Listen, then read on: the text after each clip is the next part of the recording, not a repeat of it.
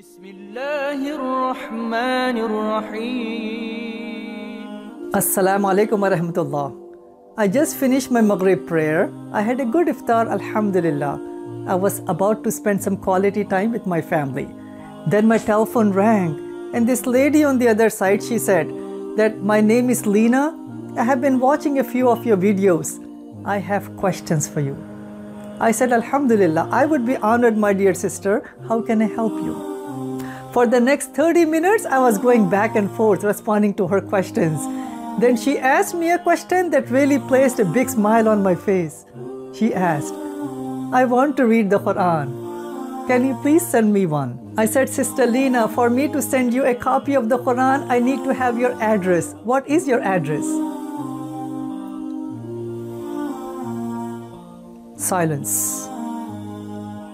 I can hear her sobbing. It was an awkward silence. I was thinking, what is going on?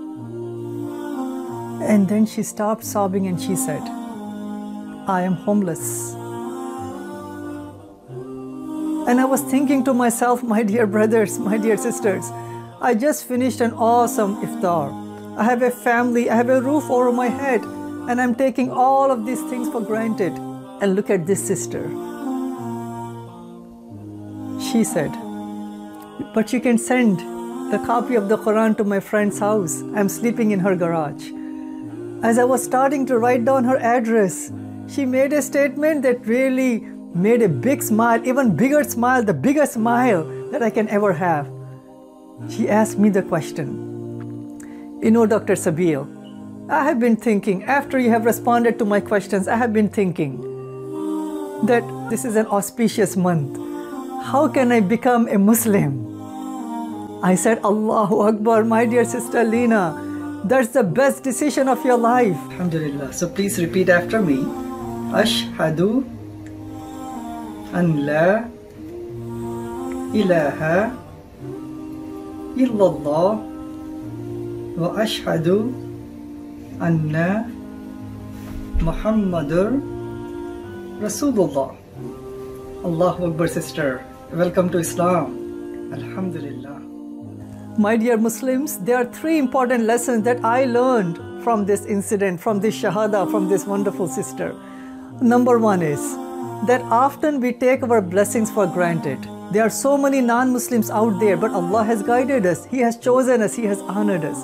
So we should constantly thank Allah, pray to Allah, and pray to Allah subhanahu wa ta'ala so we can help other people who may be less fortunate than us. Number two, though Sister Lena is poor, I believe that she is much richer than the Bill Gates, the Jeff Bezos, and the Warren Buffetts of the world because she has what they don't. She has the gift of Iman, and this gift is priceless.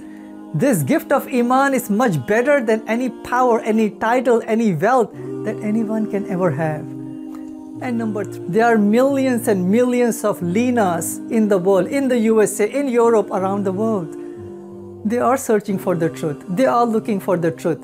They are waiting for the truth. And Allah subhanahu wa ta'ala has chosen you and me to share with them the truth, the truth of Islam, the blessings of Islam, the guidance of the Quran. Though we are helping Sister Lina with financial resources, educational resources, and with mentorship, I want to encourage each single one of you to really do dua today and tonight for Sister Lina that may Allah keep her and all of us protected and guided, and help us to share this beautiful faith with humanity. Ameen. Alhamdulillah. So please repeat after me. Ashhadu an la ilaha illallah